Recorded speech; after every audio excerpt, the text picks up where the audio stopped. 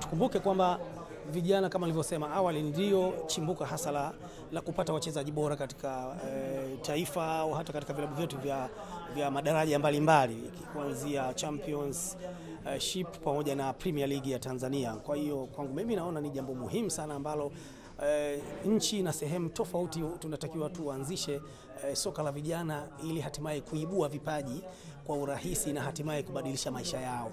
Unajua, sasa hivi mpira ni biashara kubwa sana duniani.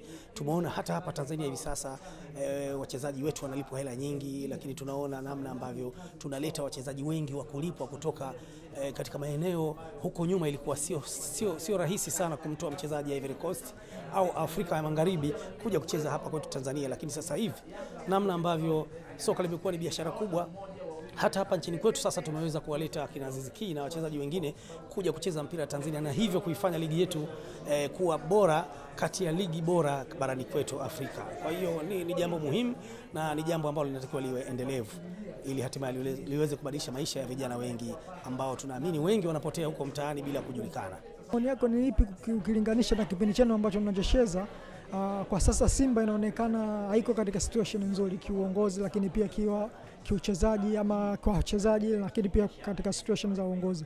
Maoni yako ni ipi kwa situation kama hii ambayo inakumba klabu ya Simba ukilinganisha na hali ilivyokuwa hapo zamani? Ya, kwanza hilo ni jambo la kawaida katika vilabu vyetu, hata Yanga imeshawahi kutokea e, kama mnakumbuka mpaka tuka waka, wakapitisha bakuli kwa maana ya kupata michango ili kuweza kupata wachezaji wazuri na makocha wazuri ili timu iweze kukaa vizuri. Kwa hiyo kwangu mimi ni jambo ambalo linatokea na ni fundisho kwa vilabu vyetu hasa eh, klabu ya Simba eh, ni kukaa chini na kuona walikosea wapi, lakini kubwa kwangu mimi naloliona ni namna ambavyo wanatakiwa wafanye usajili mzuri uh, na watumie. Na kufanya usajili mzuri kama unavyojua ni kutumia fedha.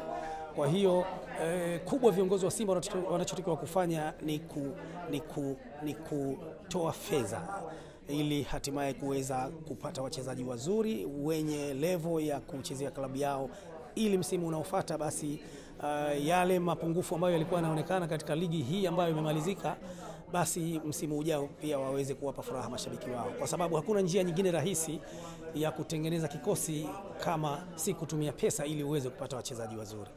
Hiyo ndio siri kubwa ya kutengeneza timu mbalimbali kama ambavyo eh, klabu ya Yanga imefanya safari hii.